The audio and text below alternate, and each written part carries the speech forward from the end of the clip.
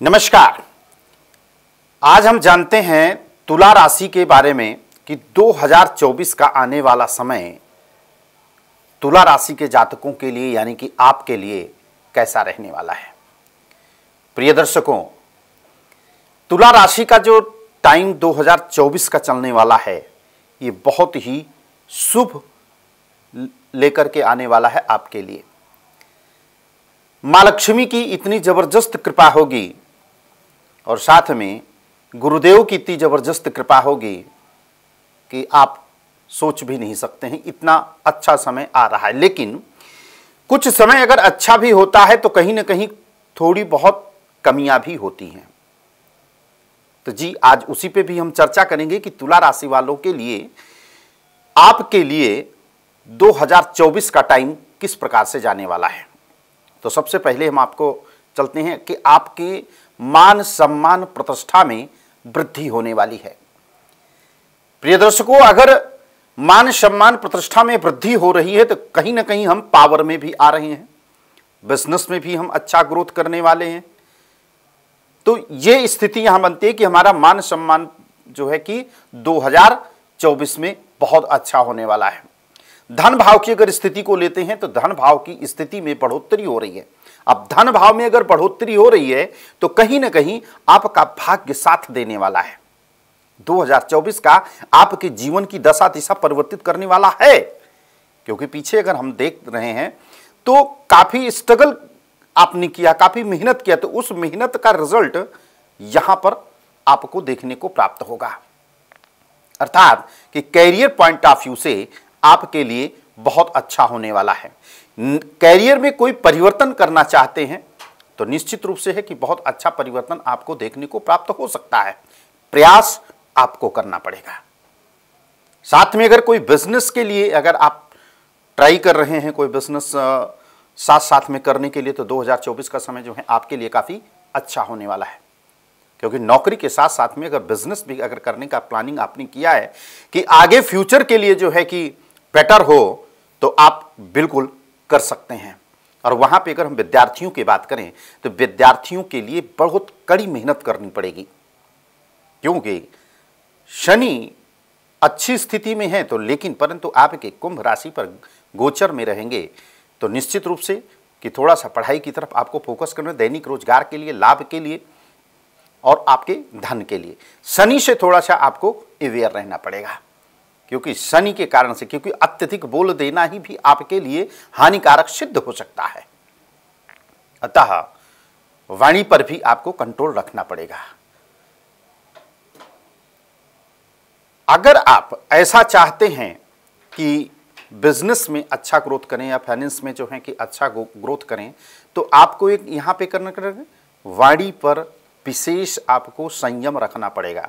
क्योंकि किसी को कोई भी बात अगर आप बोलेंगे, हो सकता है आपकी बातें अच्छी ना लगे, बहुत बड़ा काम आपका यहाँ पे खराब हो सकता है। तो वाणी पर जो है कि संयम रखेंगे, क्योंकि शनि के वहाँ पर वाणी स्थान पर दृष्टि भी होगी। तो इसके कारण से जो है थोड़ा सा अवेयर रहें और खास करके विद्यार्थियों के लिए भी जो है ये चीज़ें लागू होता है। कि अगर कोई चीज़ स्मरण करनी है उनको तो ब्रह्म मुहूर्त में उठ करके अध्ययन इत्यादि करें। तत्पश्चात देखिएगा कि आपको जो चीज़ लर्न करेंगे वो आपको स्मरण होता चला जाएगा और सफलता आपको प्राप्त होगी। जो बच्चे मेडिकल की तैयारी कर रहे हैं या इंजीनियरिंग के लिए कोई तैयारी कर रहे हैं तो उनके लिए भी बहुत अच्छा सुनहरा मौका मिलेगा, क्योंकि सूर्य और मंगल की जो उपस्थिति आपके पराक्रम भाव में उपस्थित होगा तो मंगल पराक्रम भाव में जो है कि आपके लिए काफ़ी अच्छा रहने वाला है।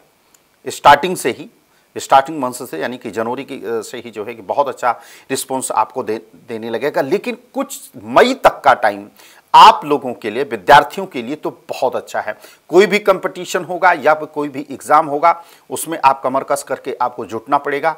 सफलता आपकी कदम चूमेगी। लेकिन मई के बाद में जैसे बृहस्पति देव अपना राशि परिवर्तन करके मीस राशि से निकल करके वृषभ राशि में आएँगे, आपके अष्टम स्थान पे तो कहीं ना कहीं ये टाइम जो है विद इन सिक्स मंथ जो है कि ये थोड़ा सा टफ रहने वाला है उन लोगों के लिए। अगर आप कोई डॉक्यूमेंट्स सिग्नेचर करते हैं साइन करते हैं प्रॉपर्टी से संबंधित है या फिर आ, कोई भी सरकारी डॉक्यूमेंट्स है तो बहुत सोच समझ करके जो है कि आपको सिग्नेचर करना पड़ेगा। अन्यथा बहुत बड़ी प्रॉब्लम में जो है कि आप फंस सकते हैं। दूसरा आपको क्योंकि यहाँ पे स्थिति दिख रही है कि बहुत डिस्टर्बेंस स्थिति दिख रही है मई के बाद में। तो अतः मैं बहुत सतर्कता के साथ में जो है कि अपने विद इन आगे वाले, आने वाले छः सिक्स मंथ यानी कि मई से लेकर के दिसंबर तक का टाइम थोड़ा सा आपके लिए अप एंड डाउन्स रहेगा। जिनको कोई पुरानी बीमारी थी, वो बीमारी मई के बाद में जो है कि पुनः सामने आने वाली है। अपने स्वास्थ्य का विशेष आपको ध्यान रखना पड़ेगा। अन्यथा आपका स्वास्थ्य काफ़ी बिगड़ सकता है और ये स्थिति जो है कि काफ़ी खराब हो सकती है। बात करते हैं, अगर परिवर्तन करना चाहते हैं आप, जैसे कि कोई परिवर्तन, स्थान परिवर्तन करना चाह रहे हैं, या बाहर जाने के लिए अगर आपने प्लानिंग किया है तो मई के बाद में ये योग बनेगा, जिससे हम कह सकते हैं कि आप बाहर जाने के लिए तैयारी अगर आप कर रहे हैं तो निश्चित रूप से है कि आप जा सकते हैं, सफलता आपके कदम चूमेगी। एजुकेशन पर पॉइंट ऑफ़ व्यू से अगर आप बाहर जा रहे हैं तो निश्चित है कि उसमें आपको मेहनत करनी पड़ेगी और सफलता आपको मिलेगा। कहीं पर भी अगर आपको रुकावटें अगर आ भी रही हैं तो एक बार अपनी लग्न कुंडली को एक बार ज़रूर आप अध्ययन करवाइएगा उसको और अध्ययन करवाने के बाद में जहाँ पर उनकी रुकावटें हो रही हैं, जो प्लैनेट्स की, जो ग्रह की उपस्थिति बहुत अच्छी नहीं होगी, उनका जो है समाधान होना चाहिए, उनके लिए आपको होम रेमेडी करनी चाहिए। तो उस प्रकार से करेंगे तो जो भी रुकावटें होंगी वो निश्चित रूप से है कि रुकावटें वो समाप्त होंगी और आपका आने वाला मार्ग जो है कि बिल्कुल खुलेगा, जिससे कि आप आगे जा सकते हैं। तो विदेश जाने के लिए प्रबल योग का संयोग यहाँ पर बन रहा है। अगर आप कोई बिज़नेस करना चाहते हैं और पार्टनरशिप में अगर करना चाहते हैं तो यहाँ पे मैं आपको यहाँ पे सावधान भी करना चाहूँगा कि पार्टनरशिप में व्यवसाय आप नहीं कर सकते हैं, क्योंकि अगर आपने जनवरी, फरवरी, मार्च तक अगर आपने बिज़नेस प्रारंभ किया होगा तो निश्चित है कि आपका मई के बाद में जो है कि आपस में रिश्ते काफ़ी खराब होंगे और अन्यतः जो है कि ये बिज़नेस व्यवसाय आपको बंद करना पड़ेगा। वहीं बात करते हैं हम कि अगर आप किसी से प्रेम करते हैं तो यहाँ पे बहुत सतर्कता के साथ में आपको करना है। हो सकता है कि आप माता पिता के खिलाफ जाकर के जो है कि शादी कर सकते हैं कोर्ट मैरिज भी कर सकते हैं, लेकिन ये परिस्थितियाँ आपके साथ में बनेगी मई के बाद में। जब बृहस्पति आपके अष्टम स्थान यानी कि वृषभ राशि पर गोचर करेंगे, तब जाकर के ये बहुत ब्रह्म स्थितियाँ जो हैं कि उत्पन्न होंगी और ऐसी स्थिति में जो है कि आपको ऐसा कदम उठाने के लिए आप मजबूर हो सकते हैं कि माता पिता के साथ से हट करके जो है कि विवाह कर सकते हैं, या हम जिसे हम कह सकते हैं कहा जाता है कि भाग करके शादी कर लेंगे। तो भाग करके ही शादी करने का ये योग जो है कि बन रहा है। अगर आपके परिवार में अगर आ, महिला है तो आपका हस्बैंड के छोटे भाई से को थोड़ा सा स्वास्थ्य से संबंधित प्रॉब्लम जहाँ पे हो सकती है। अगर तुला राशि अगर आपके हस्बैंड की है तो उनके छोटे भाई के स्वास्थ्य से संबंधित जो है कि प्रॉब्लम हो सकती है होने की संभावना या फिर छोटी बहन है उनके हस्बैंड की, का भी जो है कि स्वास्थ्य खराब हो सकता है या बहन की भी जो है कि कहीं ना कहीं खराब होने की स्थिति यहाँ पर दर्शा रही है। अब इसका हम उपाय क्या करेंगे कि जिससे कि हम इन चीज़ों से बच सके? उपाय। सर्वप्रथम आपको उपाय करना है शनिदेव का, क्योंकि आपकी राशि के लिए जो है कि सबसे सर्वोत्तम ग्रह जो माना जाता है, सर्वाधिक सिद्ध योग ग्रह माना जो जो जाता है, वो शनि माना जाता है। तो शनि को आपको स्ट्रांग करना है, शनि के बीज मंत्रों का जाप करना है और पीपल के वृक्ष के नीचे एक सरसों का तेल का दीपक जलाएँगे, नीचे काला तिल या फिर काला उरद रख करके, फिर उसके बाद में सरसों के तेल का दीपक जलाएँ, शनि भगवान के ओम शम शनिश्चराय नमः। इस मंत्र का उच्चारण करें, मंदिर के समक्ष बैठ करके। एक चीज़ें यहाँ पे होगा कि जो आपका कार्य विलंब से हो रहा है, ये विलंब से नहीं होगा। रोग से संबंधित कोई पुनः रोग आपको अगर उत्पन्न हो सकता है यहाँ पे, जैसे मैंने आपको बताया तो उसके लिए आपको क्या उपाय करना है? उसके लिए आपको गुरु का उपाय करिए। बृहस्पति देव के बीज मंत्रों का जाप करें। अतः या फिर पीले वस्त्र का दान करें, या बेसन की रोटी पर कुछ उसमें तेल लगा लीजिए, सरसों का, या घी लगा लीजिए, या उसके ऊपर जो है कोई सब्ज़ी, चीनी या गुड़ इत्यादि रख करके बृहस्पतिवार को आप गाय को ज़रूर खिलाइएगा।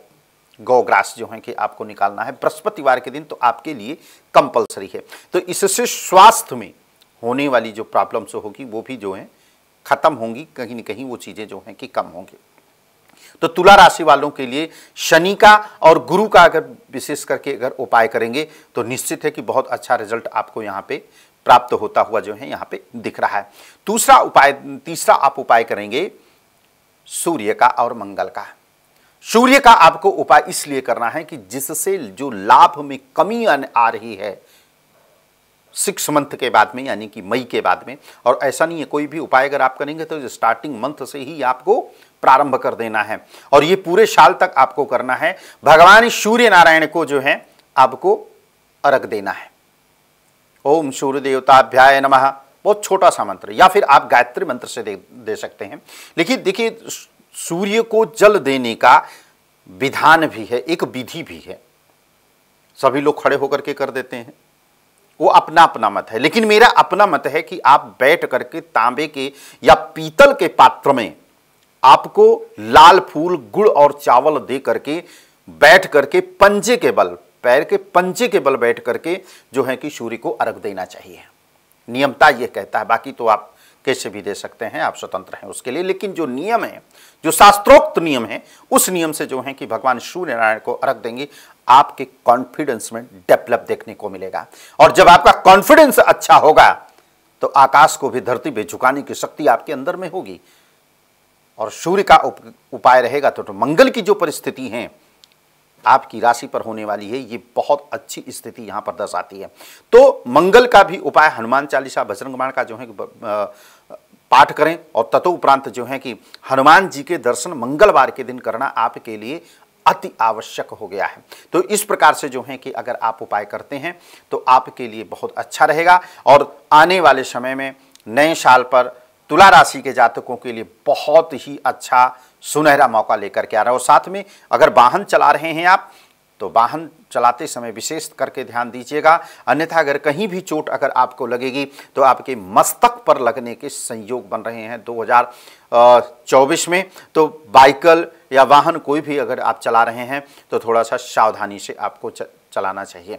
और इसके लिए जब भी आप वाहन के लिए चलाने के लिए निकलें या घर से अगर निकलें तो अपने घर में बने मंदिर में एक बार प्रणाम करके जो है कि प्रणाम करके आपको पुनः जो है आपको बाहर निकलना है। इससे जो भी चीज़ें होंगी, जो भी ऐसी कोई घटना घटने वाली होगी तो कहीं ना कहीं ये चीज़ें जो हैं कि टलती हुई नज़र आएँ। बाकी बिज़नेस व्यवसाय में जो है कि आपके लिए काफ़ी अच्छा रहेगा। सेहत आपका काफ़ी अच्छा बना रहेगा। कोई मंगल कार्य होने की संभावना पूर्ण रूप से आपकी जन्म पत्रिका में दिख रही है। तो यहाँ पर अगर कोई मंगल कार्य शादी विवाह का कोई योजना अगर आपने बनाई है तो दो हज़ार चौबीस में जो है कि पूर्ण होती हुई दिख रही है। तो तुला राशि के जातकों के लिए आज के लिए बस इतना ही। अगली एपिसोड के लिए पुनः मिलेंगे। तब तक दे दीजिए इजाज़त। नमस्कार। कितना हुआ? चलो कोई नहीं। है?